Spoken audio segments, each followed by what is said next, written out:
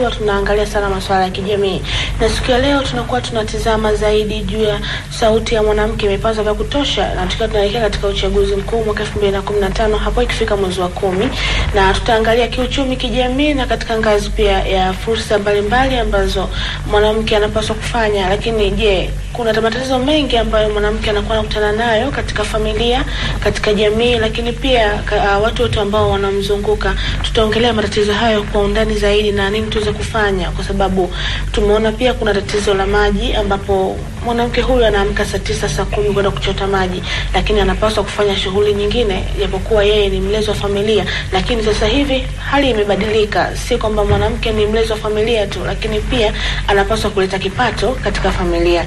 Mimi ni Tupo Kigwa Mbwene ambaye nitakuletea mjadala huu na tutafanya mjadala kwa Mwanza tu, lakini baadaye tutajiunga na wenzetu wa Dar es Salaam kwa ajili ya tuongea magazeti sehemu ya mwisho. Na ukitaka kuungana na sisi ni rahisi zaidi, unakwenda moja kwa moja katika ukurasa wetu wa Facebook tuongee asubuhi. Unaweza ukaandika swali lako hapo, ama unaweza ukaandika hoja ambayo ungependa iweze kusikika siku ya leo. Na siko peke yangu hapa studio, niko naye Adija Liganga ambaye ni mtetezi wa haki za binadamu, lakini pia niko naye uh, Jerana Mja Majaliwa, yeye ni mwalimu. Kuongea vitu vingi sana hapa studio. Karibuni sana.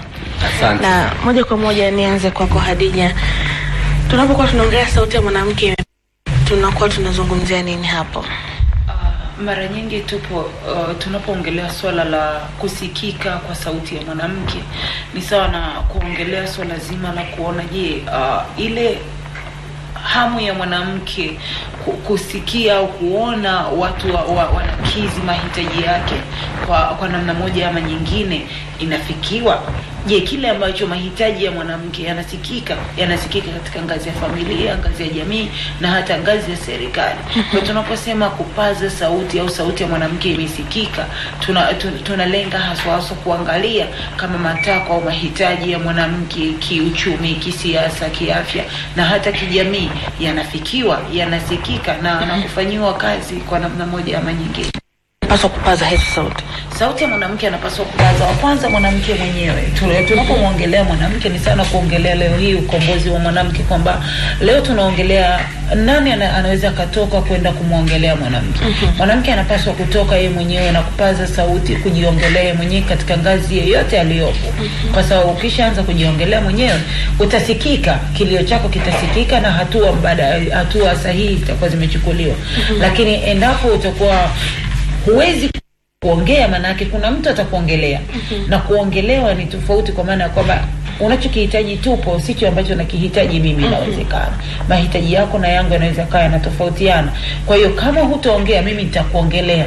Na ninavyokuongelea katika vitu kumi ambavyo unavihitaji naweza nikaongea viwili tu ambavyo mimi naona ni vyenye kipaumbele lakini nikirudi kwako sio vitu ambavyo vilikuwa na manufaa zaidi. Kwa hiyo sauti ya mwanamke anapaswa kuipaza mwanamke mwenyewe huyo wa kwanza ndipo nyongeza inakuja kwa watu wengine kuongezea katika kile ambacho aidha amekipaza au ame- ame- amekihitaji ni kama kuweka msisitizo yani mkazo kukazia ambacho mwanamke au kundi la wanawake linahitaji ili kufikia malengo yao iwe kijamii kifamilia na hata uh, kwa ngazi ya taifa kwa ujumla Lakini unakuta wanawake wenyewe Hadija bado wanashindwa kujisimamia wenyewe. Tatizo linakuwa liko wapi hapo? Uh, bado tuna changamoto kubwa sana ya wanawake kujitambua nguvu walionayo wao kama wanawake, kwa maana ya kwamba bado kuna ile dhana kwamba mwanamke ni mtu dhaifu, na hii inaanzia hata kwa wanawake wenyewe, kwa sababu tunapoongelea kujitambua, hata mwanamke anatakiwa ajitambue kwanza, ndipo watu watajua thamani yako. Kama hujajitambua thamani yako, hakuna ambaye anaweza akaitambua. Kwa hiyo la kwanza ni kwamba mwanamke hajajitambua yeye mwenyewe, lakini uh, fursa zilizopo ha, hazitoki ile sawa kwa sawa kwa mwanamke na na mwanaume, kwa maana ya kwamba nikirudi kutokana na dhana nzima ambazo zimejengwa jamii yetu mwonekano wa mwanamke au jinsi ambavyo mwanamke anachukuliwa katika mazingira ya jamii tofauti tofauti haswa kwa nchi kama Tanzania, lakini pia tukiangalia makundi mbalimbali yamekuwa yakiwatumia wanawake kama daraja la kufikia mafanikio yao, kwa maana ya kwamba mwanamke anaonekana muhimu sana wakati fulani ambao labda mimi na ndoto yangu ya kufika sehemu, na mwanamke huyu ni kiungo muhimu sana kunisaidia ushawishi, mwanamke huyu ni kiungo muhimu sana kunisaidia mimi ku, kuvuka hili daraja, na baada ya kuvuka daraja wanawake wamekuwa wakisahaulika, kitu ambacho mbeleni labda labda kama tupata nafasi taongelea kwa nini wanawake wamekuwa wakitumika sana sana kama daraja la maendeleo la kundi lingine ambalo mimi naongelea kama kundi la, wanawa, la, la wanaume ambao aidha wanataka ku, ku, ku, kuvuka mipaka kifamilia, kijamii na hata kwenye swala zima la serikali. Nije kwako Majaliwa. Uh, Adija amezungumzia swala la kuwachukulia wanawake kama daraja. Sasa na amesema ni kwa wanaume zaidi, lakini tunajua kuna ngazi nyingine. Hapo unaizungumziaje? Ya, ni kweli kabisa, wanawake ni, ni watu muhimu sana na na wakati mwingine wasipojitambua wanaweza wakatumika kama daraja kwa mtu fulani kwenda kwenye mafanikio ya kitu fulani, na na hususan hata katika siasa tume, tumekuwa tukiona kwamba wanasiasa wamekuwa wakiwatumia wanawake kwa sababu wanaamini kwamba wanawake ni watu ambao wana ushawishi mkubwa sana katika kuwapeleka ma, madarakani.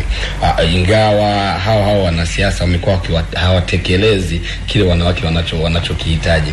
Kwa hiyo tunaweza tukasema kwamba wan, wanawake ni, ni watu muhimu, japo kwa, kwa nchi yetu wanawake wamekuwa wakibaguliwa, wamekuwa wakibaguliwa tangu kupata uhuru, na kumekuwepo na, na gap kubwa sana kati ya wanawake na, na, na wanaume katika swala zima la, la maamuzi. Mwanamke anaonekana kwamba ni mtu ambaye si kitu si chochote katika maamuzi, katika ngazi ya familia, katika ngazi ya, ya uongozi na, na, na, na, na kama alivyozitaja Amina. Kwa hiyo kuna, kuna tatizo kubwa sana ambalo limejengeka lime, lime tatizo ambalo limejengeka ni lazima kuwepo na mabadiliko na kumekuwepo na na, na, na, na na watu wengi sana wanaharakati, kumekuwepo na, na wanasiasa na tumeona hata katika haya mabadiliko ya katiba mpya uh, wanawake wamepata sauti zao na, na kikubwa sana ni, ni wao waweze kupata nafasi ya, ya, ya kiuongozi ya kimaamuzi, kuwepo nusu kwa, kwa nusu katika siasa, katika uongozi na, na vitu kama hivyo. Lakini pia tume, tumeona wanaharakati wamekuwa wakipiga kelele sana kwa sababu wanawake ni, ni miongoni mwa watu ambao wamekuwa wakipata tatizo kubwa sana, kwa sababu mwanamke kwanza, muda wake wa kufanya kazi ni, ni mkubwa sana ukilinganisha na na mwanaume. Kwa unaweza ukajikuta kwamba mwanamke mwana, mwana kama ni, ni mfanyakazi atahitaji amke mapema, atafute maji, ataamka mapema, akishe kwamba nyumba ni, ni, ni, ni, ni safi, amemfulia amini mume wake nguo, amepika chai na, na ndio aende ka, kazini. Kwa hiyo mwanamke ameendelea kutumika kama daraja na anajikuta kwamba nafasi yake katika maamuzi nabaki kuwa kwamba yeye ni wakupokea tu kutoka kwa watu wengine, alafu yeye anatekeleza. Kwa hiyo ni changamoto kubwa sana katika nchi yetu. Aha, sasa Adija, kwa nini mwanamke huyu atumie daraja lakini tunamwona mwanamke asiye na maendeleo? Aa, ka, kama alivyosema alivyosema kaka hapa kwamba awali yeyote tunatambua tuna, tuna, tuna fika tupo kwamba mwanamke kama kama tungekuwa tunapima nguvu kazi, mwanamke anatumia nguvu nyingi zaidi haswa kwenye utendaji na kutekeleza majukumu. Mwanamke anatekeleza majukumu yake na majukumu ya waliomzunguka yeye. Maana yake ni kwamba kama tunaongelea mwanamke tu katika mazingira ya kawaida ya nyumbani, mwanamke huyu ni, ni mwajiliwa, lakini kabla hajaenda kwenye ofisi yake ya kazi ambayo ni rasmi, bado kuna kazi ambazo anatakiwa kuzitenda kuzitekeleza ambazo anamsaidia mwajiliwa mwingine ambaye naye anatakiwa aende kazini. Kwa unakuta huyu mwanamke ana ajira mbili au tatu kabla hajafika kwenye ile ajira yake ya ya ya ya, ya, ya, ya kiofisi zaidi. Lakini ukirudi kwa namna nyingine, kwa nini mwanamke amekuwa kama daraja? Ni kwa sababu wanawake ni watu wepesi sana wa kusahau.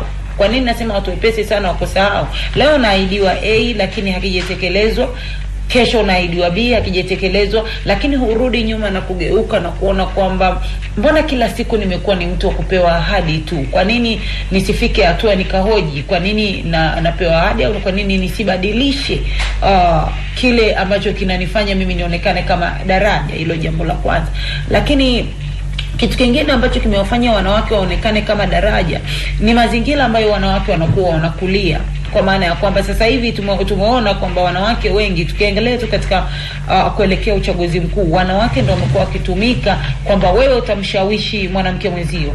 Once mama akisha kuwa on top kwamba mama yeye ana, ana, anapenda chama fulani cha siasa, huyu mama tuna uhakika familia yake nzima itakuwa ni ni, ni, ni wa, wapenda wa, wanaopenda siasa ya upande ule ambao mama yupo, lakini kuna swala li tumeliona pia wakati huu tunaelekea kwenye uchaguzi mkuu kwamba wanawake wanakuwa